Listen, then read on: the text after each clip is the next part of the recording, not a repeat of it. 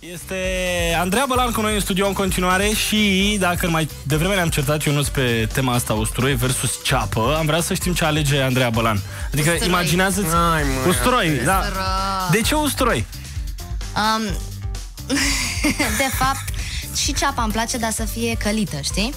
Și usturoiul la fel, nu l-aș măca crud, adică în mâncare cred că e foarte bună și ceapa și... sunt Dar foarte usturoiul e bune. mai trebuie mușdei, doamne, cum ar fi viața fără mușdei? Da, exact. E greu. Cu cartofiori așa și... Ma. Dar ceapa călită sau ceapa, cu călită. slănină? nu slănină, nu chiar, dar ceapa dă așa savoare oricărei... Dar e mai light ceapa. Slănină light. Bun, deci șoc și groază. Andreea dar Bălan cred preferă că- usturoiul. Usturoiul e mai sănătos decât ceapa.